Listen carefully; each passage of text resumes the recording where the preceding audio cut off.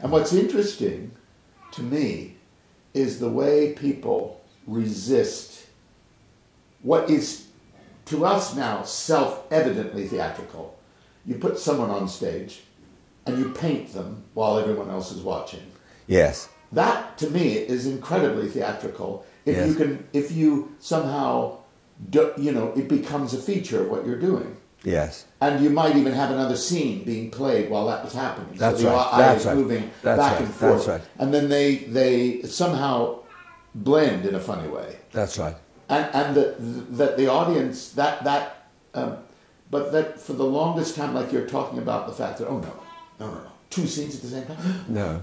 Oh, I'll tell you another one where um, I think that they, I think that I'd seen them doing the scene or something, and then they, they, other people would borrow my, my overcoat, Well, and then in playing they would put their hand in the overcoat and bring things out of the pocket. Sometimes there's a piece of metal or something that I'd picked up in the street and put in there, and suddenly it got interesting and used because it, because it was, and other people thought it was obviously put there because the person wanted it for the particular scene. No, it just happened to be there.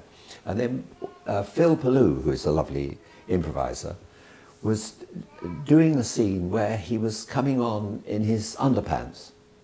Uh, just uh, he only wore only wearing his underpants, and and this is the Dante. yeah, this was part of Dante. Yeah. And uh, he said, I want, I want an object to put inside my underpants. And I, I'd got in my, car, in my, in my pocket a small um, toy car, which I'd got from Leo, because I put, put things in the pockets knowing that it's quite interesting. If they pull things out and it's, it's surprising to them, it's so much the better. And I got this little car, so I said, gave it to him, and he put it in his underpants.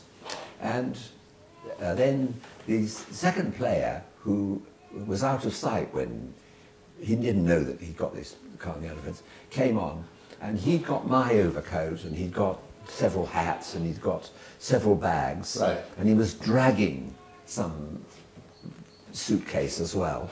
And he came down and he settled down, and he wanted to buy things off Phil Palou. And he said, I'm just collecting things at the moment, in this moment in my life. I just find that it's necessary for me to have a lot of stuff, you know, if I feel that that's what I'm, what I'm Yeah, about. yeah. And he'd already got all these suitcases he was dragging.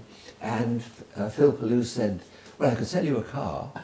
He said, um, have you got the car? He said, yes, in my underpants. So, it, it just, I mean, so, it so quickly was, it was and the, the other guy, it, it didn't believe him, thought he was going to have to mime Yeah. a car in his underpants. and he said, um, but uh, have you got money? And the guy said, well, how much do you want? He said, show me your money. And so he, he went in his pocket, and, he, and maybe in my pocket, because he had my cash, and brought out like 50p or something. Yeah.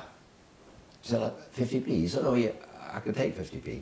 So then th- this little, uh, so they got into a, he brought up the little toy car, and they got into a wonder, lovely, quite long improvisation about how can I be sure that if I give you the car that you're not going to, you're going to keep it and not give me the money.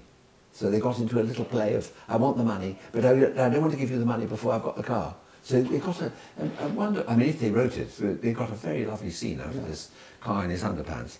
And then what got better was the boy, the guy bought the car, and then he said, um, can I buy your underpants? And Phil Palou actually turned out to the audience, which was the rest of the cast and David Glass, and said, I really don't want to take off my underpants. He said, I mean, I feel as an actor, I should retain some dignity or have the right to keep my underpants on. He said, I'm not, I'm not particularly prudish, I don't, I won't mind, um, you know, if it's really essential, but, I- but I, I think I should keep my underpants on. And we all said, no, keep your underpants on. So then the guy starts saying, um, I'd, li- I'd like to own your underpants. He said, well, you can own them, you can buy them. And I could wear them and I could rent them. because be rented, rented underpants. So you've got this, this incredible scene, really, beautiful scene, out of just the moment of them. Of them. And this was filmed, one hopes. Well, I don't know, no, because they didn't do it in the, the, the guy...